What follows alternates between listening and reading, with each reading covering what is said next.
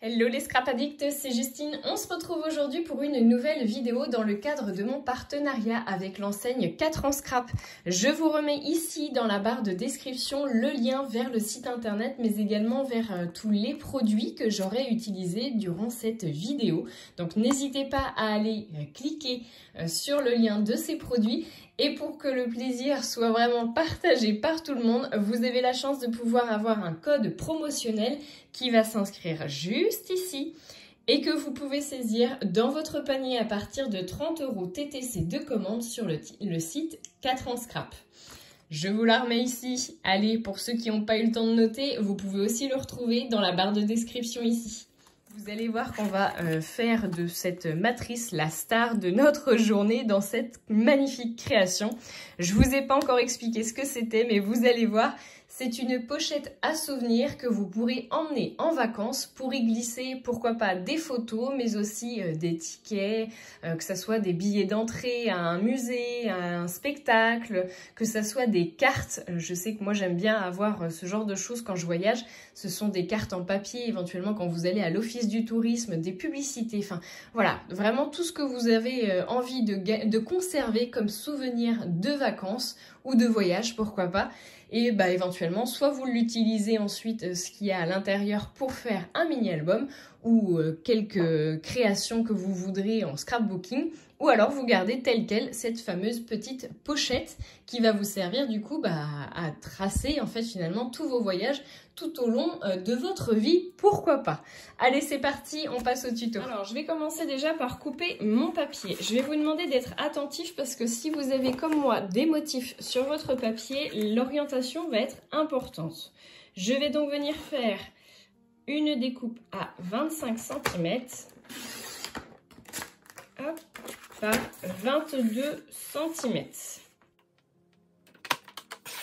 Ensuite, vous venez me faire un pli à 1 cm sur chacun des bords.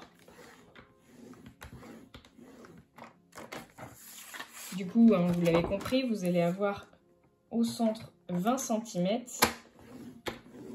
puisqu'on va faire quand même une assez grande euh, pochette pour pouvoir bah, tout simplement y mettre tous nos petits souvenirs, qui seront peut-être pas si petits que ça s'il y a besoin.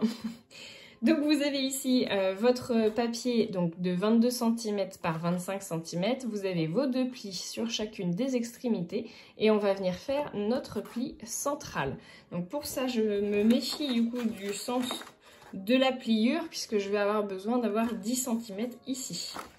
Donc je vérifie avant de tracer mon pli pour pas faire de bêtises.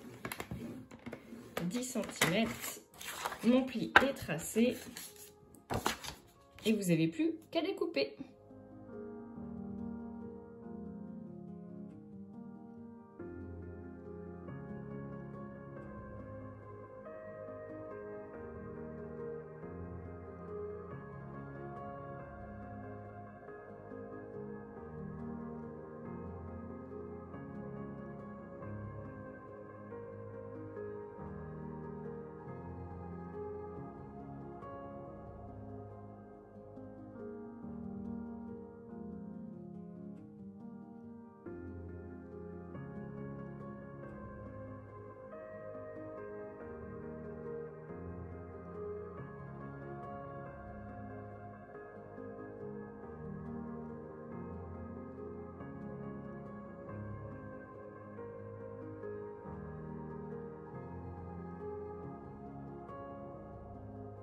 Que votre pochette est faite, on va venir faire le rabat pour venir refermer la pochette. Pour ça, vous allez avoir besoin d'un morceau de cardstock.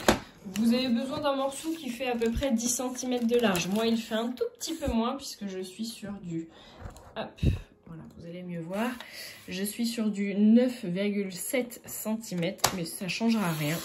Vous venez me le couper à 20 cm du bord et on vient marquer un pli à 1 cm.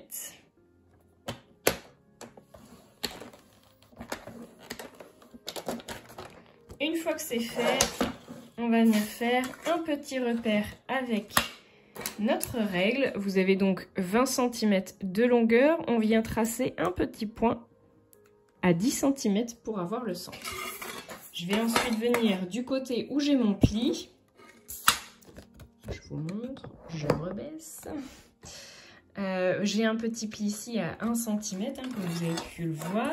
Je vais faire un petit tracé à 5,5 cm sur ce bord-là et aussi en bas.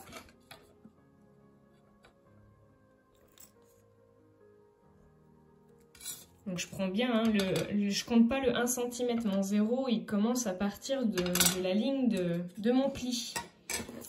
Et pour pas salir ma feuille blanche, je vais venir faire la découpe à l'aide soit euh, d'un cutter, soit comme je vais le faire là, d'un massicot.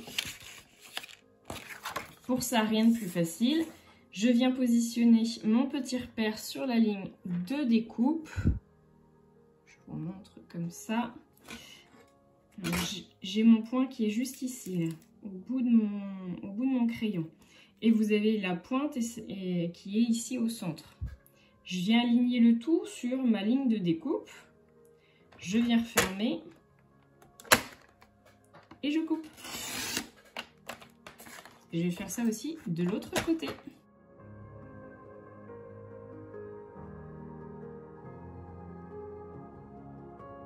Avant de venir faire la décoration, et d'ailleurs je vous confirme que c'est pas grave hein, si vous n'avez pas la pointe euh, vraiment bien bien tracée puisqu'on va venir faire de la décoration notamment sur cet emplacement là, donc ce n'est pas gênant. Et pour faire la décoration, eh bien oui je vous le donne dans le mille, nous allons utiliser notre matrice de découpe combi.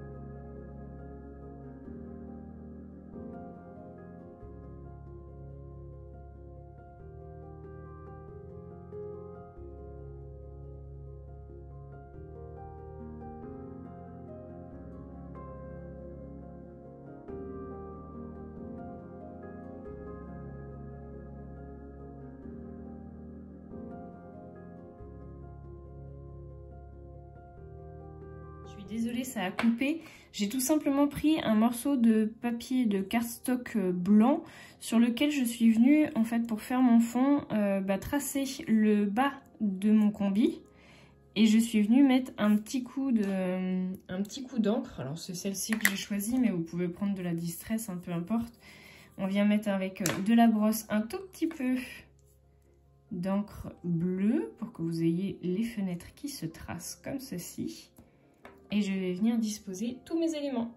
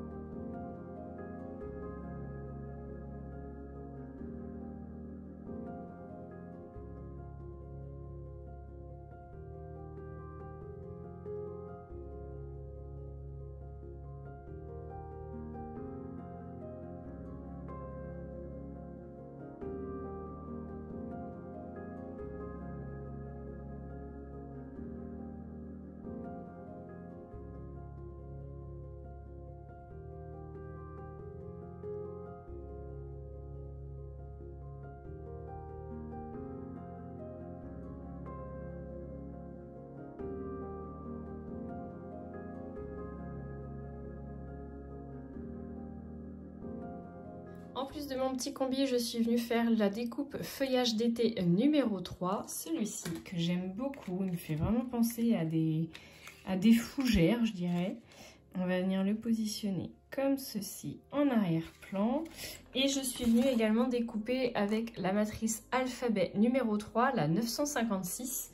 Je suis venue découper le mot voyage. je vais m'amuser à tout enlever de mes petites lettres.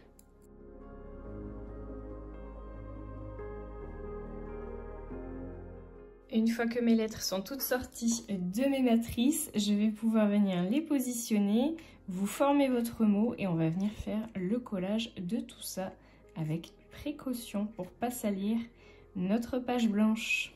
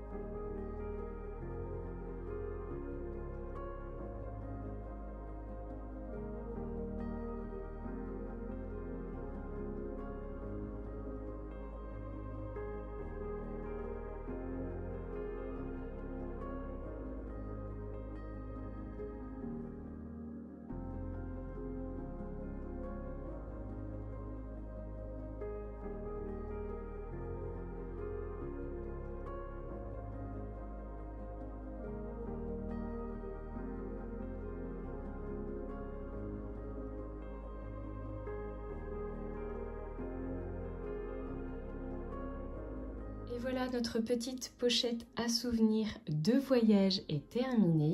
J'espère vraiment que le tuto vous aura plu. On a de très jolis détails avec notamment les petites ceintures ici, mais aussi le magnifique mot. Alors pour pas avoir de traces de, de colle comme moi ça se voit du coup pas mal avec la lumière artificielle, je vous conseille de faire votre découpage dans du papier euh, directement, dans du papier autocollant, ce qui va vous faciliter la vie, croyez-moi.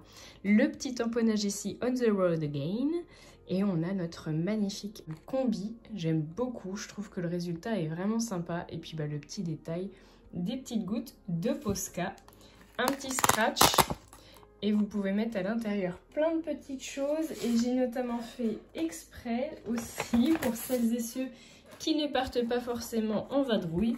Eh bien, vous pouvez aussi y ranger des cartes, mais aussi, pourquoi pas, vos pochoirs de chez 4 en scrap. Allez, je vous fais de gros bisous à tous et je vous dis à très bientôt pour de nouveaux tutos. Ciao